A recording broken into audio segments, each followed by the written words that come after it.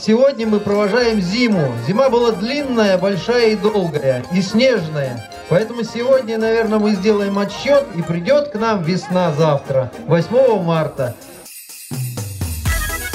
По традициям на Масленицу было принято устраивать различные состязания. В этом году силами мерились команды от двух угольных разрезов – Кейзасский и Распадский. Для команд были подготовлены различные испытания. В одном нужно было устоять на узком бревне и при этом успеть увернуться от удара мешком со стороны соперника. В другом тягаться силой, сумев поднять далеко не легкую гирю. 6, 9, 16, 17, 18, 19. В третьем нужно было забить гол в ворота соперника, пользуясь вместо клюшки обычным валенком.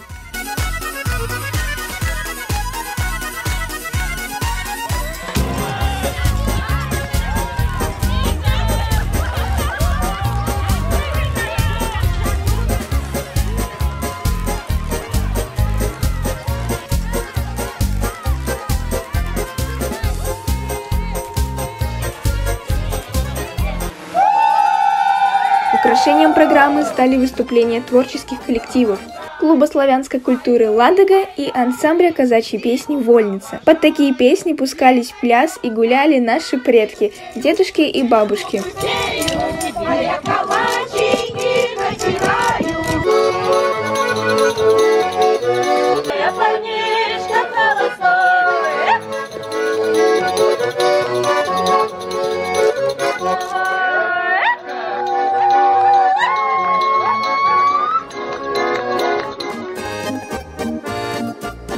А яркие народные костюмы задали колорит нашему празднику.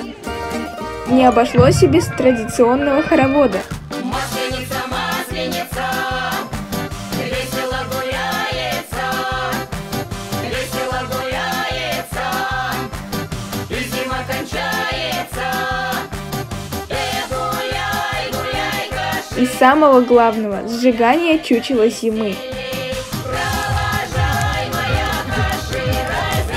Были и другие развлечения, традиционные для экологического центра. Можно было посмотреть и покормить животных, покататься в санях и верхом на лошади, посетить музей природы, приобрести на память сувенир. Помимо этого, каждый желающий мог угоститься символом праздника – блинами, а также горячим чаем. Масленица, масленица! Целью весело, интересно провести выходные, поучаствовать в народном гулянии, а, целью поддержки своего коллектива, в котором работаю вот, в соревнованиях. А, сегодняшнее мероприятие было очень веселое, очень праздничное. Подняли настроение, несмотря на то, что пасмурная погода, но благодаря веселым артистам все прошло очень весело, хорошо и задорно. Вообще понравилась э, сама идея, народное гуляние, чтобы ребятишек привлекать, чтобы семьями приезжали, традиции свои знали. По итогам соревнований победу одержал разрез Кизакский.